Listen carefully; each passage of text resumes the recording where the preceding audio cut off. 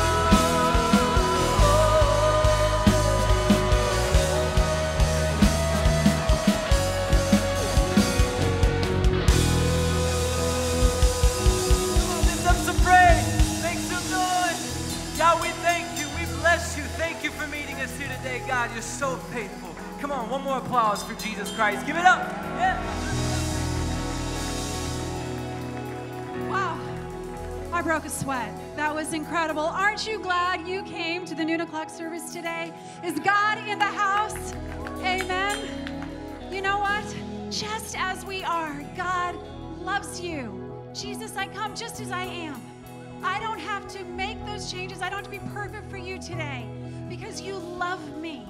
You love me, my brokenness. You love me. You love me. Sit down and just let that sink with you. God loves you. Welcome to NorthRock Church. My name is Danielle.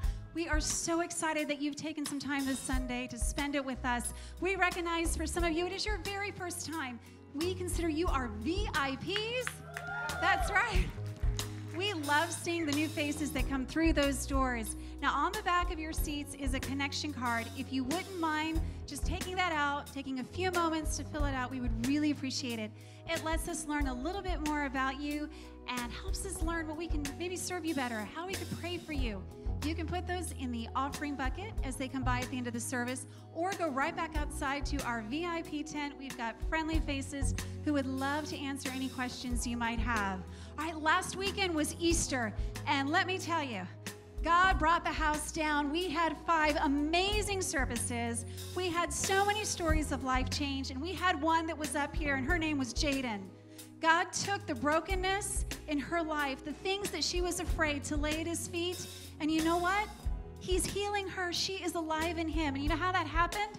She got connected. She got connected to a local church. We would love for you to connect right here at NorthRock so your story can be one that God changes, God refines, so you can make the difference in the life of someone else.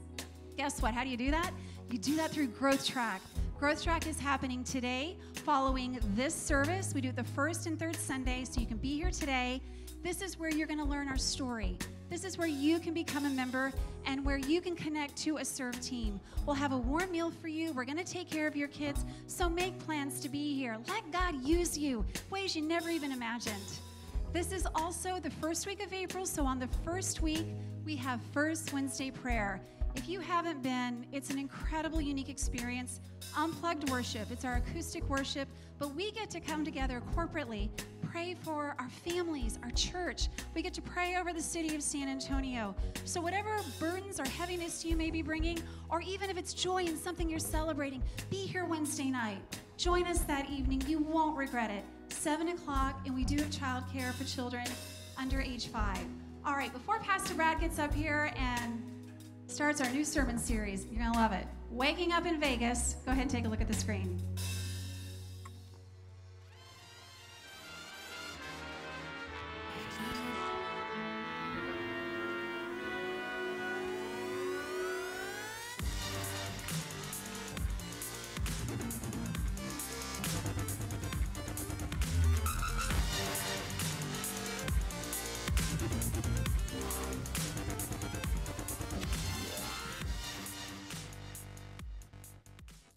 Hello, noon service. You guys awake? You better be. You got to sleep in today. Great to see you guys. Thanks for being here. Uh, today we are starting a new service, uh, or sorry, a new series, Waking Up in Vegas, and I'm excited about it. Before we get started, though, why don't you just say hello to somebody around you real quick? Maybe you don't know them, maybe you do know them, but just get to know somebody real quick. It's all right. It's a good sound.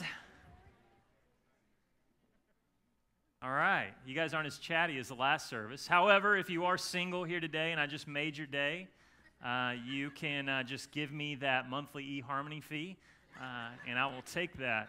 My name is Brad. If I haven't said that already, I'm one of the pastors here, and, and it is an honor to speak to you guys today. Um, how many of you ever been to Vegas before? Raise your hand if you've been to Vegas. I see some party animals in here. Your face is kind of lit up when you're like, yeah, I've been to Vegas.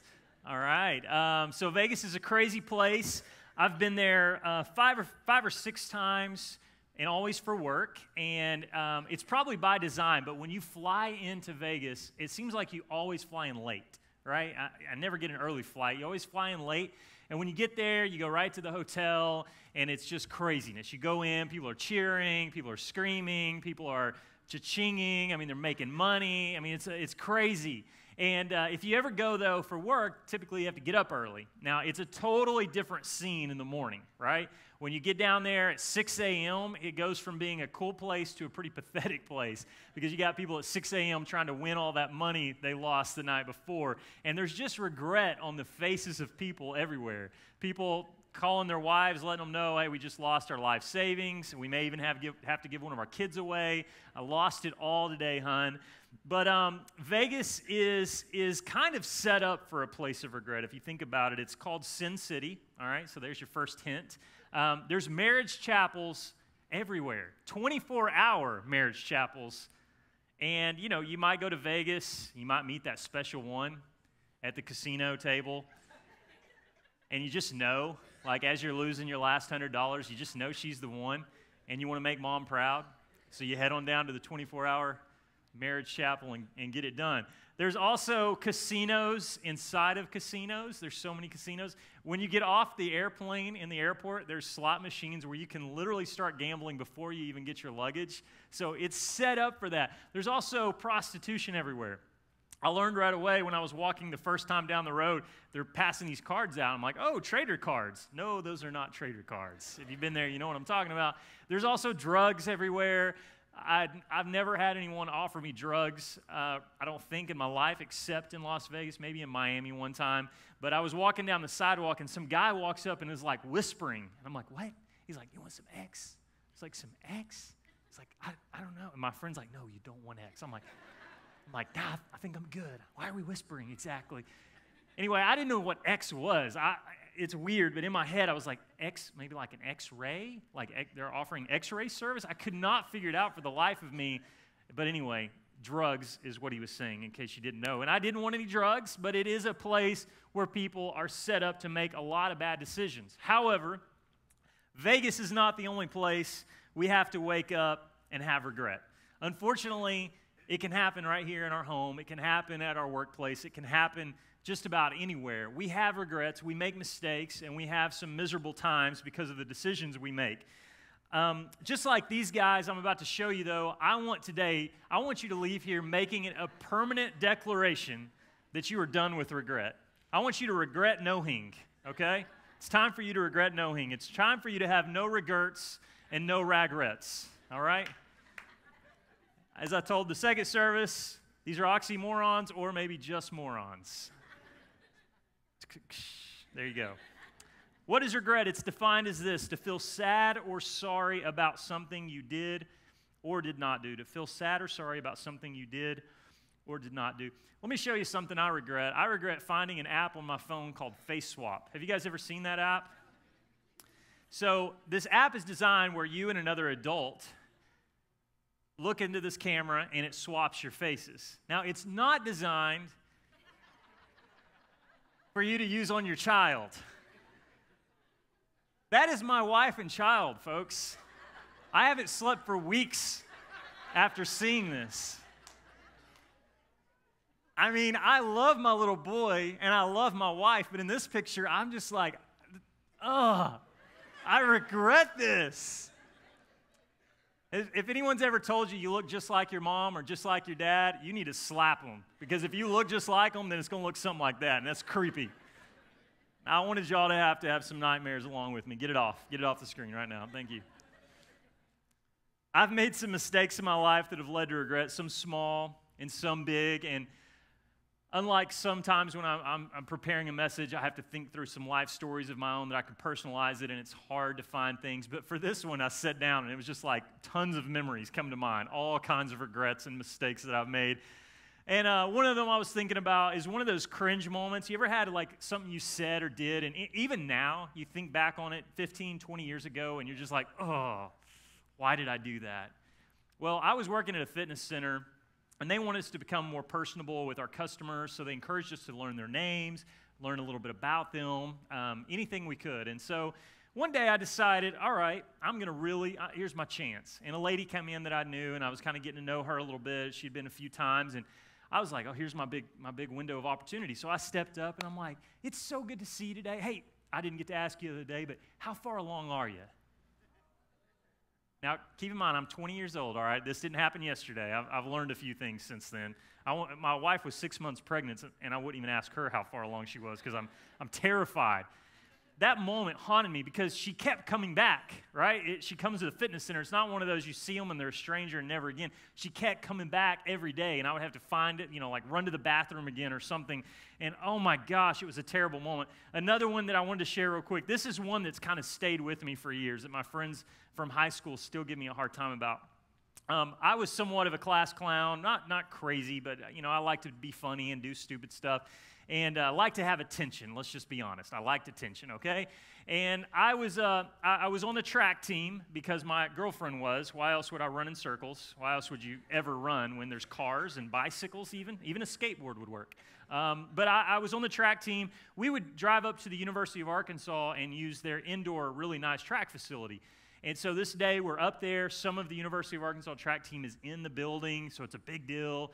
And uh, they had a, the hurdles set up.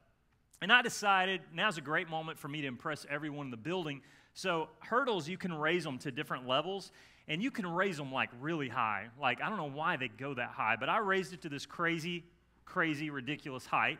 And I decided, all right, guys, I'm going to get going because I was pretty fast. So I'm going to run really fast and I'm going to jump over this and I'm going to impress everyone because you know jumping a hurdle impresses everyone. So I take off in a dead sprint. Yes, I take off in a dead sprint, and my front foot cleared it. My back foot didn't have the great the, the, same luck. Now the problem was that the hurdle was facing the wrong way. Okay, they have little legs on them so that they'll easily fall over. But if you run the other way, they they won't fall over. no matter how hard you trip over it. So I go into a mid-air flip and I come down on this surface that's called rubber that is a kryptonite to your skin. And I go into a full on slide across this in my little track shorts that are so short, girls can't wear them to school, but I can wear them to run in because everybody wants to see that. And, and I come to a stop, guys, and I am bleeding everywhere. I look like I just came out of a motorcycle accident. My legs are just torn to pieces. My wrists, my nose. Okay, I've kind of got a big nose, so that's easy to believe. And then my, my forehead, and I'm just bleeding. Just rubbed my skin off. And I look up, and there, coming and crossing paths with me when this all came to a stop, is Coach John McDonnell. Here's what you need to know about him. He was the current University of Arkansas track coach. He also is the most winningest coach in all collegiate sports in the history. he also has won 40 national championships, more than any coach by far. And he's standing there looking at me, kind of like I'm looking in these lights. You know, angels just, oh, and I'm looking up at him, and I, I feel like I was reaching. And, and he looked at me, and I'm waiting for this big, inspiring moment like, son, life's going to trip you up at times, but you just got to get back up. So I'm like, here it comes, here it comes. And he looks at me, and he just says, that's going to hurt. and in my mind, he like stepped over me and then like kicked me a little bit and walked on by. But it was a terrible moment. So for the next two weeks, I've got like scabs on my nose and forehead that are a constant reminder of what a dumb, dumb decision I'd made. My girlfriend stayed with me, so that's good. I don't know why though, but we have those moments, and this one's a little bit of a bigger deal, but this is a heavier thing. We have the heavy things we look back in life on.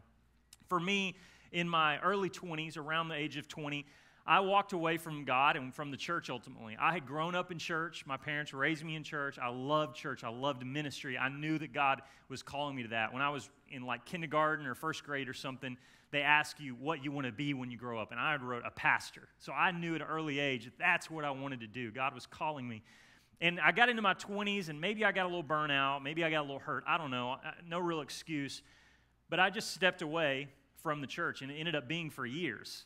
And that was a painful time because I made some bad decisions. I got around some wrong people. I got in some bad relationships. I just did some really dumb things that over the course of those few years, I look back, and that is my moment.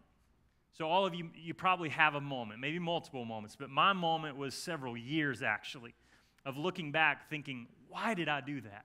Thinking back and wishing I could have made it different. And I want to share more of that in a minute. But here's what I've learned during that time and, and, and now is regret robs you of your future and it holds you hostage to the past. It robs you of your future and it holds you hostage to the past.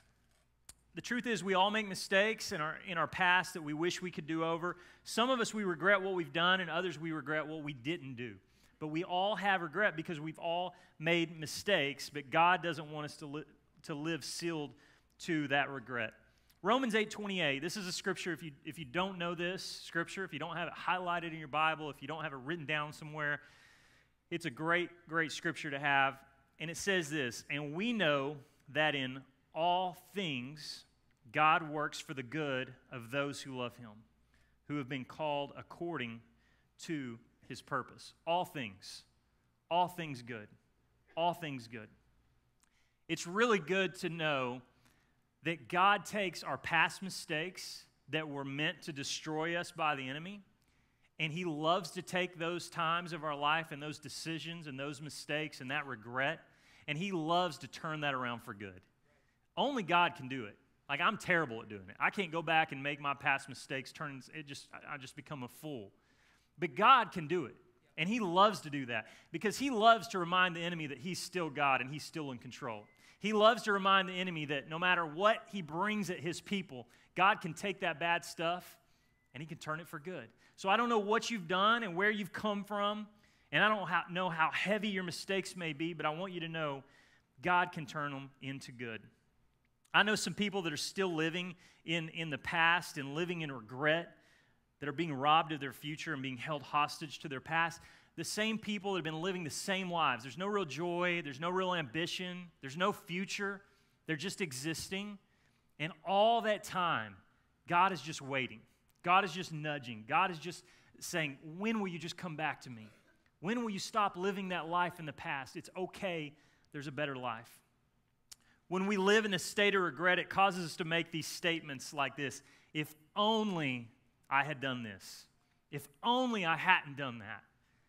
And then it starts to make us think if we would have made some different decisions, what might our life look like? If I had just done this 20 years ago, five years ago, two days ago, what might my life look like today? And that's what ends up holding us hostage to the past because we can't get our mind off of the past in order for God to use us in our future. Regret doesn't have to be a place we live any longer. And for some of you, I, I kid you not, and I heard some incredible stories of of some people that had prayer after service. I want you to know some of you today need to hear this, and I want you to know that some of you today, you're going to learn that you don't have to live a life of regret anymore. You don't have to live hostage to the past anymore. And I want to share a few things with you to help you with that. I'm reminded of a guy named Peter in the Bible who experienced regret really greater than any of us. Peter was a guy that Jesus found, he was a fisherman. He followed Jesus, became a disciple. They had a really great relationship. They were very close, very good friends. And they lived life side by side, doing ministry together, Jesus teaching him and, and showing him, just like he does us, just walking with him and teaching him day after day. Later on, Jesus is uh, going to be uh, facing the cross soon, and he knows that he's going to die. And he has this Last Supper. Maybe you've read about it in, in the Gospels before, but He's, he knows that his time has run out. He knows it's coming, so he has all his disciples together and they're sitting around talking. And of course, Jesus probably feeling the weight of what's coming. The disciples are sitting around and, and they're discussing who's the greatest of the disciples, who's the greatest in the kingdom. And Jesus kind of finally puts them at a stop and, and, and he tells Peter this. He says, Peter, I want you to understand that before you hear the rooster crow twice, you're going to have denied me three times. Peter gets a little defensive, maybe, and, and says, That can't be true, Jesus, because you have to understand, I would go to prison for you, and I would even die for you, Jesus. I would even die for you. Well, Jesus does end up getting arrested. Peter ends up kind of following them, trying to figure out what's going on, what are they doing with Jesus. And while, he, while this is all happening, he gets noticed by several different people who say, Hey, weren't you with Jesus? And he's like, no, no, no, no. Fear begins to come over him. He's terrified of the unknown. Jesus isn't by his side in his mind, so he's scared. So then a second time he says no. A third time he says no. Finally, he curses and says, I don't know this man. Leave me alone. Suddenly, we read in Mark 14 72, right after this happened, immediately the rooster crowed a second time. Then Peter remembered the word Jesus had spoken to him Before the rooster crows twice, you will disown me three times. And he broke down and he wept. Imagine how he must have felt in that moment as soon as he's reminded that Jesus called him on this. Imagine how he must have felt rem- reminded that he even told Jesus, Jesus, I would die for you, I would go to prison for you. Yet, just when he gets questioned, Do you know Jesus? He says, No, I don't, I don't even know the guy. Then Jesus is crucified. Imagine how he must have felt at that point. Then they bury him. Imagine the turmoil he must have felt and the regret of, of denying that he even knew his best friend, not just his best friend, his Savior. And then for the next three days, Jesus is in a grave and, and he must have felt terrible. He must have felt awful thinking, I denied him. Now, Jesus didn't stay dead. As Pastor Jonathan shared last week, he came alive, and it changes everything. And sometime later, Jesus is going to be ascending into heaven. And one of the last conversations he has is with Peter. And I pick it up in John 21, verse 7. Then the disciple who Jesus loved said to Peter, It is the Lord. As soon as Simon Peter heard him say, It is the Lord, he wrapped his outer garment around him, for he had taken it off and jumped into the water. The third time he said to him, Simon, son of John, do you love me? I'm jumping to verse 17. So, three times, this is the third time, he says to Simon, son of John, Do you love me? Peter was hurt because Jesus had asked him a third time, Do you love me? He said, Lord, you know all things, so you know I love you. And Jesus has a, a, a strange response. He says, Okay, if you love me, after asking him three times, he says, Feed my sheep. Now, when I first heard that, I remember thinking, was this like a guilting thing? Like, kids, do you love me? Kids, do you love me? You do? Okay, feed the dogs and clean your room while you're at it. It wasn't that, though. What Jesus is saying is, Peter, you remember the work I started in you? When I found you and you were fishing for fish and I started teaching you how to fish for men. Do you remember that? Well, I want you to know I still want you to continue that. I want you to know that the plan I had for your life before you made this mistake and denied me, I still have that for you today. And ultimately, Peter, I want you to know I loved you before you denied me. I loved you when you denied me. And today, guess what? I still love you the same amount. I wanted you to be a disciple and teach people about me before you denied me.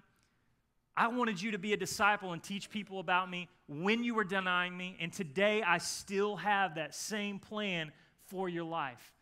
Jesus knows he's about to ascend into heaven, and he's basically telling Peter, We don't have any time for you to stay miserable living in the past because we have a way, way bigger future for you to get a hold of. I believe Jesus is saying the same thing to you today.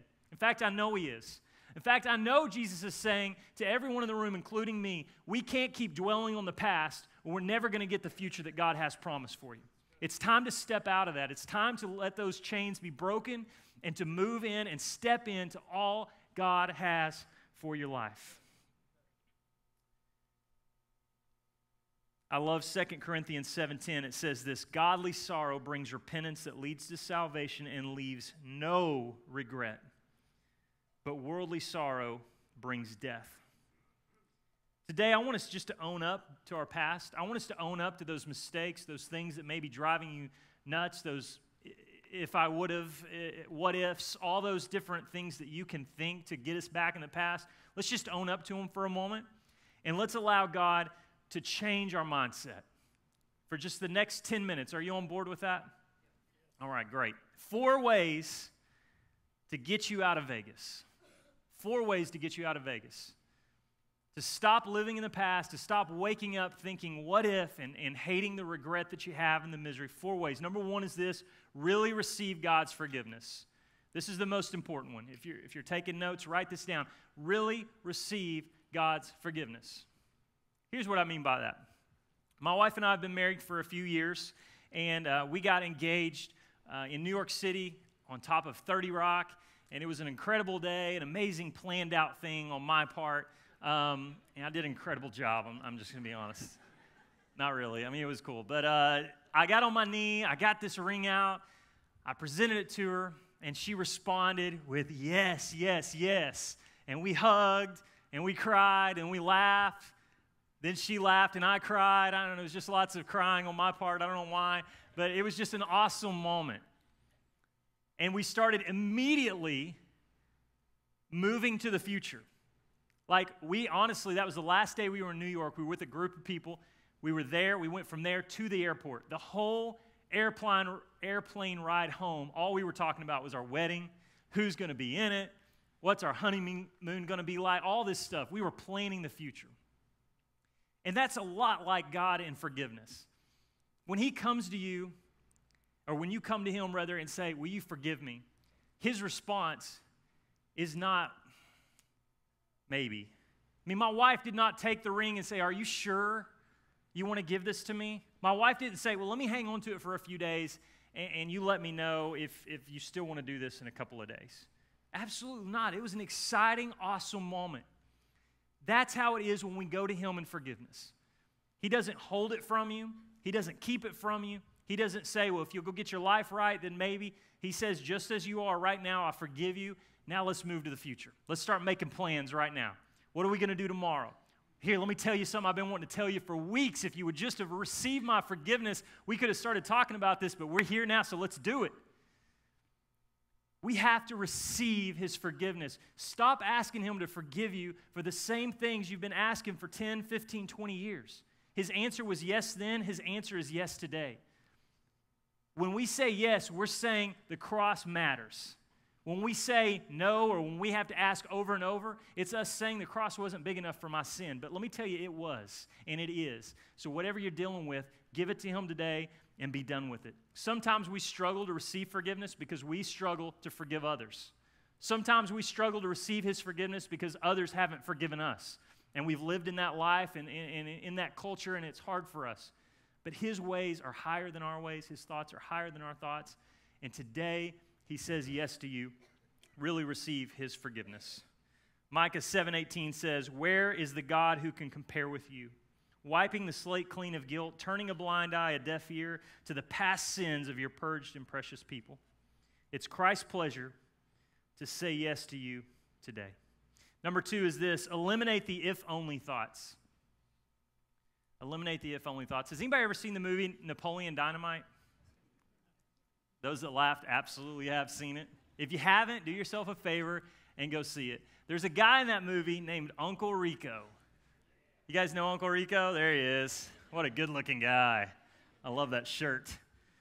Uncle Rico, he's like a 40, 45 year old man in this movie, and all he can do is talk about back in 82. If I could just go back to 82, we'd have won state. Back in 82, I could throw a football a quarter mile. He's just always living in the old life. If only I could go back. If only I could go back. Some of us are living life in 82. You get together with some friends, and all they want to talk about is, you remember that one time? And you're like, yeah, but that's over, man. We, we can't do that again. I have several friends of mine that we were all good buddies, and we were all uh, single in most of our 20s. And when we get together, it's easy for us to reminisce, but we don't stay there. We're never like, man, we ought to all get divorced and go back and get an apartment together. You know, we don't do that. We don't do that. We have to get out of that min- mindset. You can't go back to 82. I remember a story I heard a few years ago about uh, a group of coworkers who all went in together and got a lottery ticket. And they won. And they won a lot of money. Lot of money. And I was thinking about the story we don't hear. What about the coworkers who they came up and like, hey, John, man, you want to jump in on this lottery ticket? And John's like, nah, man, I'm, I'm good today. Or someone else that was maybe on their phone and they didn't even quite hear them and they just kind of, nah, nah, you know, just getting them away. And then what must have it had been like to come into work that day after they won and none of them came to work because they're on their private islands, right? How awful must have that have been for those that are sitting there in those empty chairs are reminders of the regret. If I could just go back, I would have said yes. It must have been a horrible thing. Now, I don't know if it was a lottery ticket for you. For me, it was in my 20s, like I said. If I could just go back, and that's something that drove me nuts for a long time. But we have to finally eliminate those thoughts. We have to finally understand God's plan for our life it is not us going back and fixing something. His plan is always for the future, His plan is always for the now. But we're not going to go back and change or fix anything. I love uh, Colossians 3 2. It says this Set your minds on things above, not on earthly things. Here's what I've learned most of our if only thoughts are about if I could go back and do this, then I would have this. I would have the perfect marriage. I would have that truck or that perfect career or all that money. A lot of the things we want to go back and change are it's stuff. But guess what? You can't take any of that stuff with you.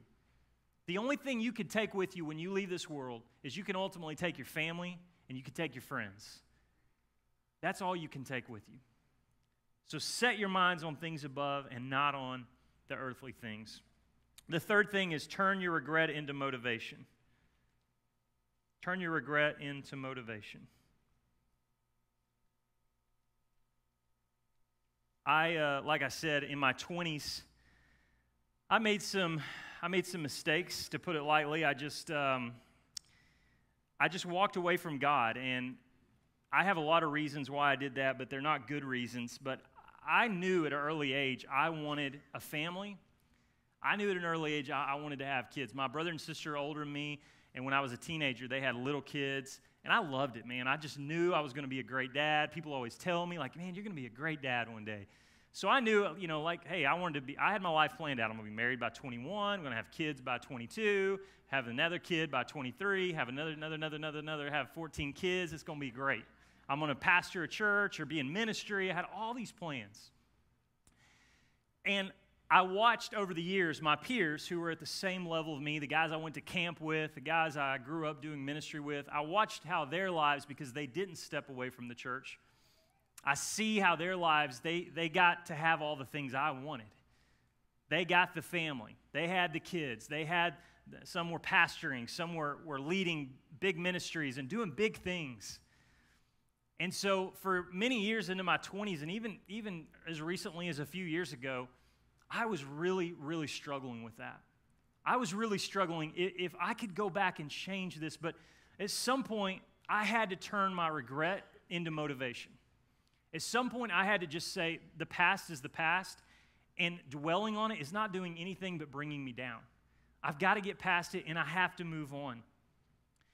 Times I would become so frustrated, though, and wondering, what if? And I finally had to turn my if only into what if as far as what my future was going to be like. And I still have moments where I look back on it, still have moments where I look back in the rearview mirror, but it's just for a moment. I look back to my past to see where I've come from. And you remember how earlier I said God loves to take the mistakes and the regret of our life and turn it into good? He loves to take that stuff we've done and allow you to be a story and a witness for someone who's going through the same thing. There's nothing better than that. There's nothing better than being able to tell someone, man, I've been where you are. And here's what I want to tell you God would love to do that in your life. And because I got sick of being regretful about my life and sick of just living in the past, I finally got my mind made up. I finally got rid of some of my commitment issues, even though all guys, I think, have commitment issues. But I had some problems with that. And then my wife and I got married. And now, maybe it wasn't when I was 21, but now I get to go home to this every day. And it is the most amazing thing ever. Isn't that amazing? Don't you just want to give him a little kiss? Well, you stay away. That's weird. Just kidding. I love my family, and God has blessed me in a big way. The last thing as we close is let God and then fill in the blank. I want you to fill in the blank. I don't want you to leave here just looking at this piece of paper. Just for the next few moments, I want you, if, if you didn't get notes, you can write it on your phone. But I want to challenge you all to write something down here. What do you need to let God do in your life? What do you need to let God to do? I can't fill in the blank for you. I can give you some suggestions, but you have to make it personal. Only you know the area you need to let God, and all of us have an area where we need it. But see, the enemy would love for you to leave that blank so that tomorrow is just another Monday of misery, possibly. Tomorrow is just another day where you wake up thinking, if only I had made this choice. But I want to hold you accountable right here and, and tell you to write something down here. What do you need to let God do in your life? Maybe you need to let God forgive you once and for all for that mistake you made, for that baggage, for that series of choices you made. Maybe, maybe you need to let God into your life completely for once. Maybe you're a control freak and it's hard for you to let God have control of your life. Maybe you need to let Him just completely save you today. What is it for you? What's cool about God is He loves to fix our mess. Man, He loves to fix our messes. So today, I want to encourage you to make your regret available to God. And if I can just help you in some way, step out of over here in the past. Step out of those old regrets and start stepping into the future with God. He designed you on purpose, with a purpose. Whether you're 15 years old or 85 years old in the room, He still has purpose for your life regardless of how many years you walked away from Him. It's 50 years, or 20 years, or five years.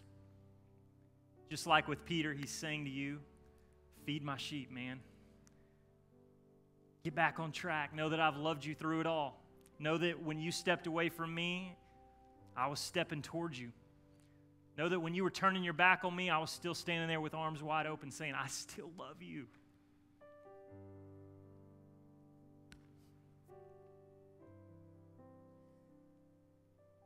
Excuse me. When I think of what the Lord has done in my life, there's nothing I, can convey to help you understand how much I want you to feel that same relief of knowing that your past is truly that it's the past. I want to encourage you so much today to let God take your hand, pull you out of that where you've been held hostage and to pull you into that future that's been robbed of you for so many years. And today is your day. Let me pray with you. Lord, thank you so much for this beautiful congregation of people. Thank you, God, that you forgive us completely. That even though we've maybe struggled to live in the past and, and the regrets that we have, that today is our day to step out of that. That that same calling and purpose that maybe some in the room felt years ago that you still have for us today. That even though the regret and misery just kind of grows up inside of us when we think about some of the embarrassing choices we've made that maybe have affected us in, in a terrible way or even those around us. That even through that, today again, your answer is yes. That all along you've been just waving us and cheering us on to just come back to you. God, and I thank you that I believe today can be that day for some of these amazing people. As we continue to pray with every eye closed, I'm going to take a moment just to say if today you would like to be your day where you just give it all to Him, where you just completely give Him control. Maybe you're saying yes to Jesus for the very first time, or maybe you've been struggling so much and it's been so long you can't remember the last time you truly gave your life over to Him. If today is your day, I want to pray for you. And I'm just going to ask you to lift your hand in the air. No one's looking around but me. I'm not going to ask you to come down. I just want to know who I'm praying for. If that's you, would you lift your hand right now where I can see it? Lift them high. Lift them high. Thank you. Thank you. Awesome. Hands all over the room. Anybody else want to join these? I want I want to pray for you. Today is your day. It's an amazing, monumental day in your life. Thank you. You can put your hands down. Pray this prayer with me. Lord, thank you so much for this moment. God, what an honor and a privilege it is for me to pray for those that have lifted their hand and said yes to you today. God, because everything that we do here at NorthRock, every hour, every moment, every week that we spend is for this moment, for people to know you. God, thank you that years ago when I walked away from you, that when I came back, Lord, you led me back on this path to where I am in this very moment helping people say yes to you. And God, I pray for those hands that were raised that they would know that you're going to do the same thing in their lives, in their world, in their own special way, God. That by saying yes to you, we're stepping on and into a journey with you that is unlike anything we could ever experience. So we confess today that you are the Lord of our life. You are the Lord of everything we do. And we give you complete control. And we're going to leave here like we've never left here before. We're going to leave in a brand new way, completely cleansed of our sins, and giving you com- complete control of our lives. And I thank you, Jesus, in your precious name. Amen. Would you guys give a big hand to those that lifted their hand? Thank you so much for listening with me today. Would you give it up for Pastor Brad? Give it up for Pastor Brad. Fabulous, man. What an incredible kickoff to our new series, and uh, I'm very excited about this series. We will be continuing this throughout the month of April, so for the next three weeks, and uh, I'm looking forward to it. And uh, listen, if you were one of those who raised your hand a moment ago and, and, and you surrendered your life to Christ, we would love for you to take one of these uh, connect cards that are in, in, the seat back in front of you, as well as in your worship guides that were handed to you. And at the very top of the back, says, I committed my life to Christ today. We would love for you to check that top option on the back and then uh, fill out the other side. And you can do one of two things with this card. Uh, you can either drop it in the offering when it comes by in a moment, or when we close our service, uh, you can take it to the back of the room where our prayer team is uh, under the big exit sign, and you can put this card in their hands. We want to do a couple of things. Nobody's going to come to your house or anything like that, but I want to send you a book uh, that we want to share with you that just kind of talks about your fresh start and where to from here.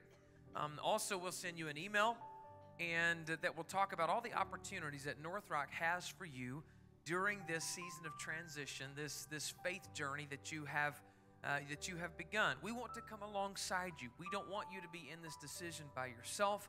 This is a huge moment for you. And so we want to help you understand everything that's happening and help you see the options that we have for you here at NorthRock to help you um, during this season. All right? Also, right now, we're going to prepare to give our, our Sunday tithing and offering, giving back to the Lord financially.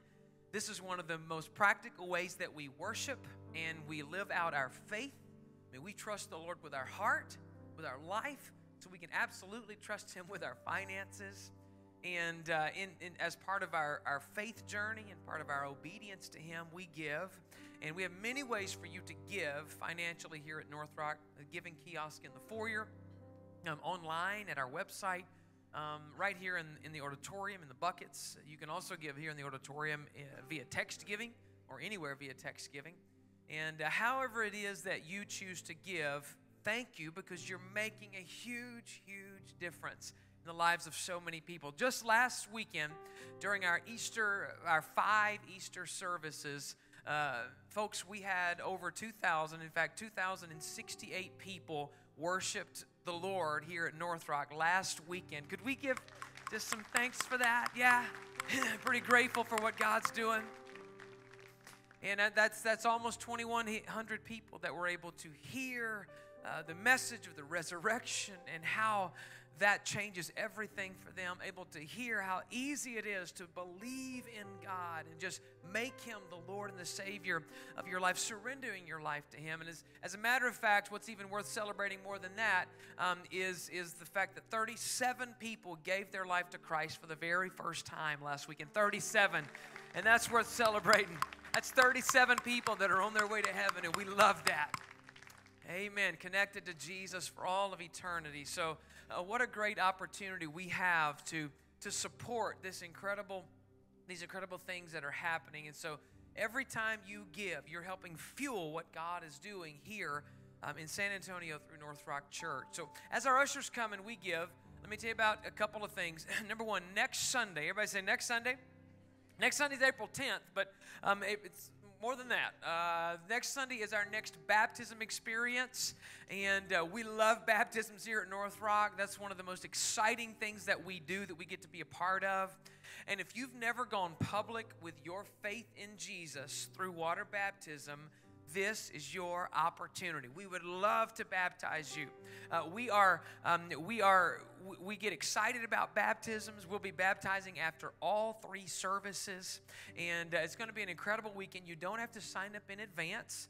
You can just show up the day of, and there'll be a big blue tent out there, and you can sign up right then and there uh, for baptisms and be baptized then. Water baptism is your next step if you've put your faith in Christ. Every time a new believer in the New Testament put their faith in Jesus, they were always baptized. They were always baptized.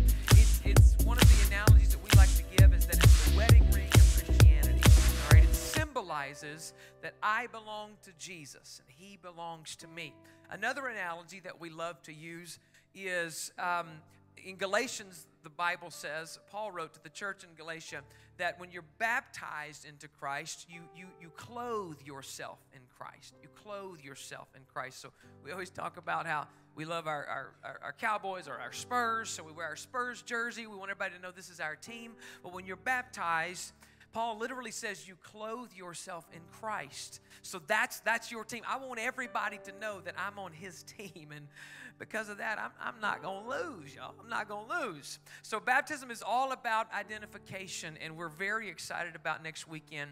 And I encourage you, if you've not been baptized, to make plans to be baptized next weekend. Additionally, if you need prayer for any reason at all, our prayer team would love to pray with you. They're available under the exit sign back there. When we close, you can just ease back there. Don't leave the building without getting prayer if you need prayer.